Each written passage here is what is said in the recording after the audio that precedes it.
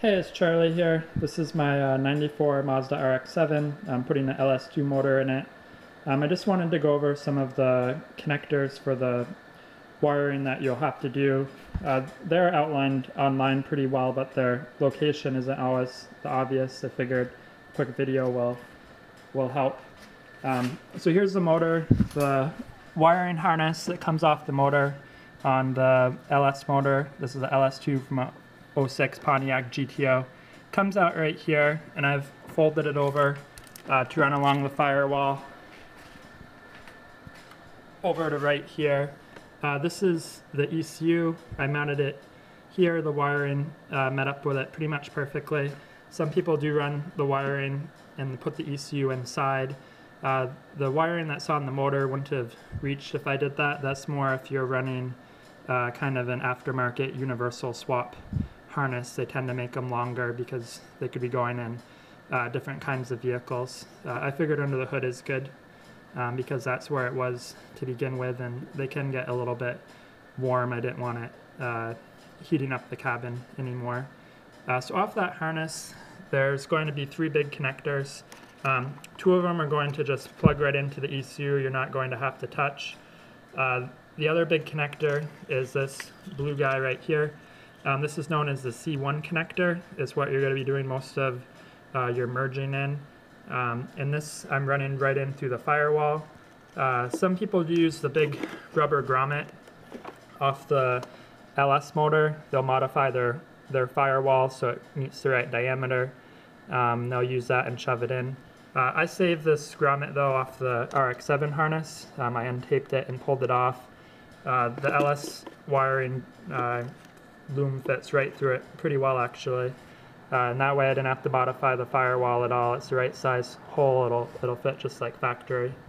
Um, coming off one of the other harnesses right down here, you see there's this Y uh, and it comes up and there's this pigtail right here and it has a bunch of connectors. This is what it um, looked like before I hacked it off. Uh, I don't know what this connector is called. Some of the diagrams refer to it as connector 4.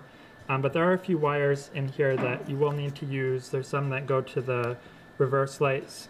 Um, for instance, uh, so you will, you will need to, to use this. And then if you were to follow this back down where it, where it does the little Y right here, I've got it all taped up, but there was another little pigtail coming out of here with two wires on it. That's for the horn. Um, and you won't need that. You can stagger your cuts, tape it up, uh, and that's all you need to do there. Um, so that's the main C1 connector, the connector 4, tape off the horn.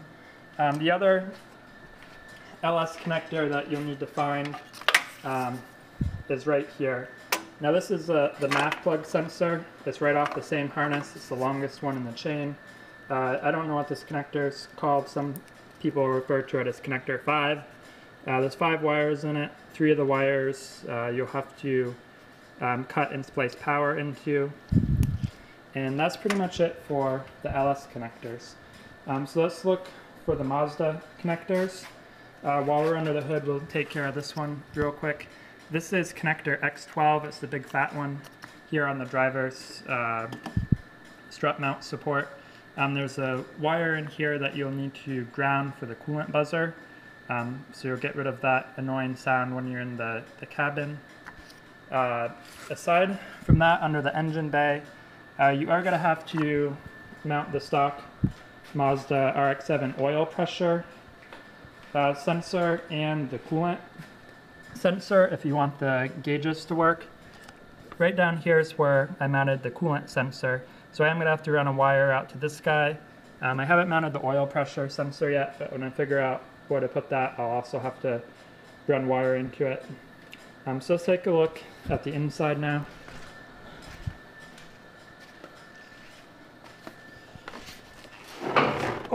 So this is the inside of the car. This is where the factory ECU was right here. I've removed that. I sold the rotary motor with all the wiring and ECU uh, to some guy on Craigslist because you won't need it anymore. Um, you can mount the the LS2 ECU here. It just gets warm and there's not a real clean way to mount it. um, and my wiring wouldn't have reached it anyway, so that's why I put it in the engine bay. Um, right here is the X05 connector.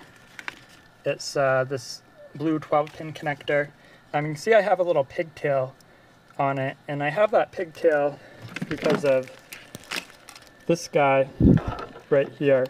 Um, this was a recall that Mazda did. This is actually a fan controller box. Uh, it was to keep the fans running when the motor was turned off so that it would cool down. So if you have a 93 or, or maybe even up to mid 94, since this is a 94, um, you may have this little extra wire harness. Uh, and if you do, it'll, it'll help you because you can cut the pigtail off and it'll give you some more wiring to work with with this X05. Uh, you won't need that recall thing afterwards. So this connector up here is the B120 connector and it went to a metal box that mounted right up on this guy. And you won't need that either, but you will need to find this connector. Um, you'll have to remove the blower motor and the, the AC box under the dash. Um, it's not a huge pain to do. It'll definitely give you a lot more working room.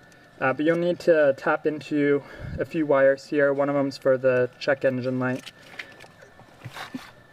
The other kind of notorious hard to find connector is this X14 connector.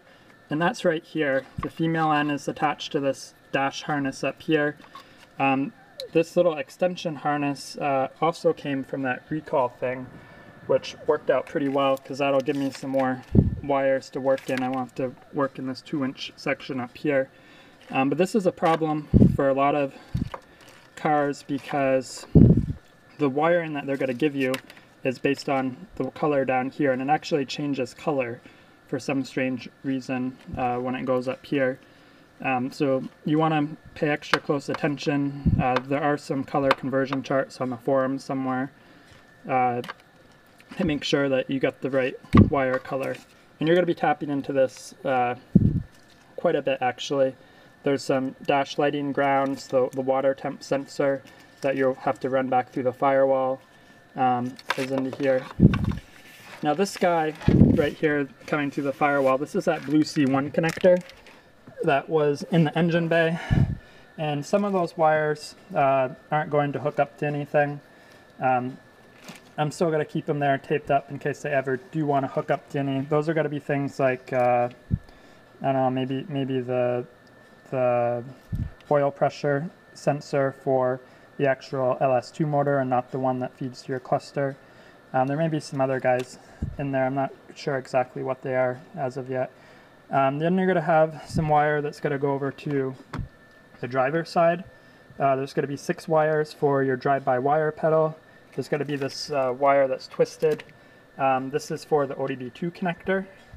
Uh, you're going to have to buy one and put it under your dash somewhere because the, the RX-7 wasn't OBD2. Um, and then you're going to have some other wires that isn't going to go to the driver's side. I've got this separated over here. Some of these, uh, I got to go to that X14 connector, that X05 connector, that, that uh, B120 connector. Some I got to go to the digital Dakota box. Um, that's to convert the speed sensor off the, the T56 transmission um, so that the speedometer will, will read the right miles per hour. Um, that's pretty much it over on the passenger side. Now the driver's side, see if I can crawl through here. The driver's side, there really isn't a whole lot over here. There is this blue connector. There's actually two of them. They're pretty, pretty big. It's the top one. It's got to be the one with, with uh, the really wide connectors in it, not all the little pinned ones. There's a wire in here you can tap into for the oil pressure uh, sensor. You can also try to find the wire under the hood. Uh, you're going to have a connector down there that was attached to the clutch. So when the clutch pushes in, it, it can uh, signal it's okay to start the car. You're going to have to utilize those wires. And then you're going to have the drive-by-wire pedal. So that's right here, that's the Sandberg mount right up there, and there's gotta you're gonna need the pigtail, and that's what six of those wires coming from the C1 harness will attach to. So that's pretty much it for connectors. There's only a handful of them. Um, the wiring's actually not that bad at all. Uh, it's pretty easy to get to. You technically don't need to remove your dash. I've heard people have done it by removing the glove box and, and taking the AC thing out and the, the blower motor. Um, I figured it would be easier just to pull the dash, give me more working room. Uh, I was able to kind of refresh the the heater core boxes and put new foam and stuff in it. Um, and it allowed me to pull the carpet out and put this heat wrap stuff on my transmission tunnel. So there's kind of a lot of benefits to pulling the dash. If you've if you've never done it and have the time, I'd, I'd recommend it. If you're in a hurry and want to deal with it later, um, then then you can work around it. Uh, so hopefully that helps. Uh, let me know if anyone has any questions. Um, a lot of the the wiring and, and uh, actual pin to pin charts can be found on norotors.com. Uh, so hopefully this helps.